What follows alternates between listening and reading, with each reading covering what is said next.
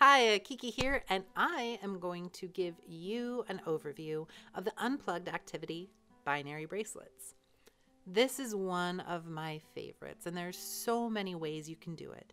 You can use paper and pencil, you can use pipe cleaners and beads or string and beads, you can use candy. There's all sorts of things that you can use to do this.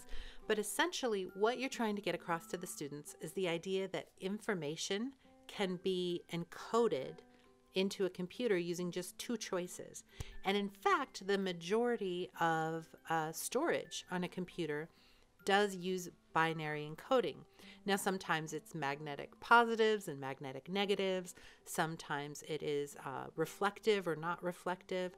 There are all sorts of kind of binary options you can use to store information. But in this one, students will use ASCII code for uppercase letters and they will use binary to store their initials on something. So it can be on a bracelet, it can be on a uh, piece of paper that they frame, it could be anything. But the idea is you want to get across this concept that they are storing their initial to their wrist or to their locker or whatever it might be.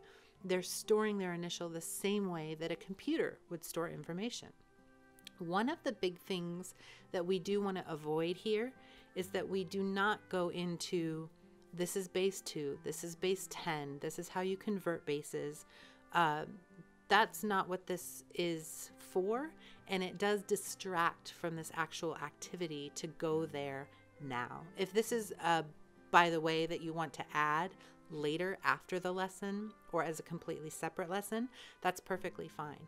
But by doing that inside of the lesson, it turns the lesson into something else and no longer makes it as effective for the idea of how you take information in the real world and store it down into zeros and ones in a computer. So I hope you find that helpful. Take a look at the lesson plan, and if you have any questions, feel free to leave comments down below or tweet me at Kiki versus IT. Happy coding!